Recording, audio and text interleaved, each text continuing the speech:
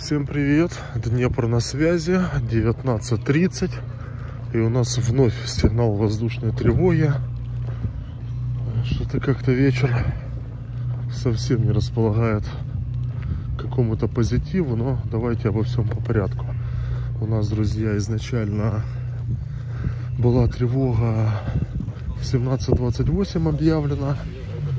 И одновременно с этим прозвучал достаточно мощный взрыв в области.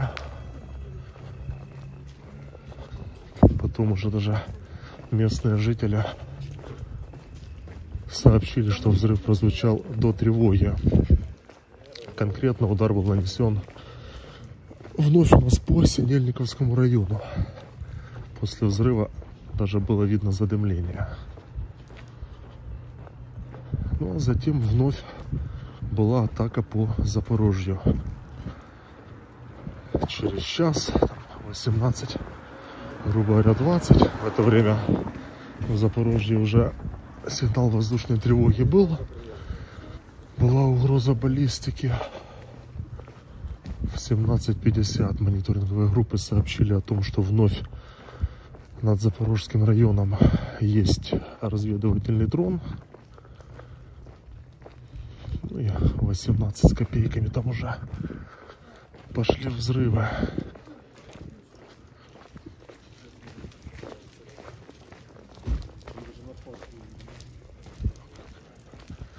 Уже и темно.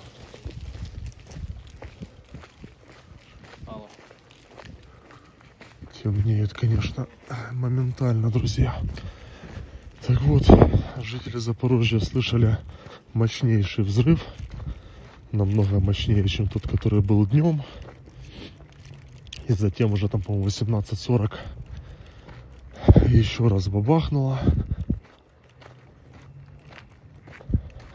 Ну, вновь глава областной военной администрации Запорожской области сообщил, что был нанесен удар, предположительно Искандером, по Запорожскому району.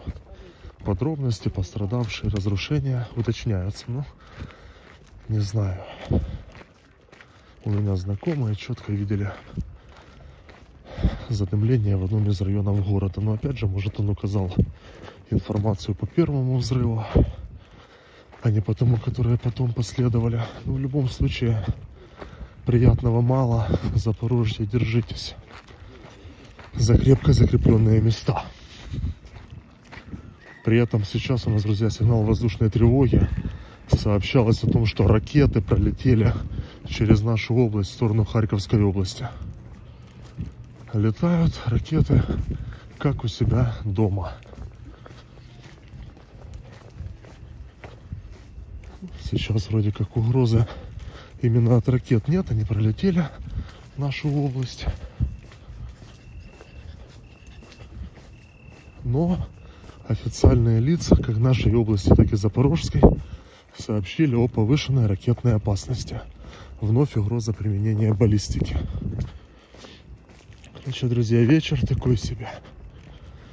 После почти суточного перерыва с тревогами сразу все началось со взрывов. В принципе, на этом все. Вся актуальная информация. Сейчас, друзья, уже нужно еще по району помотаться. Потом, наверное, еще видео запишем. Может быть, зайдем в магазин, поглазеем, что с ценами меняются, не меняются. Так что всем хорошего вечера, если он у вас будет таковым. У нас пока что вечер опасный. Ну, как хорошо, где освещено все. А где темнота, конечно, ничего не видно. Так, всем добра и до нового выхода на связь.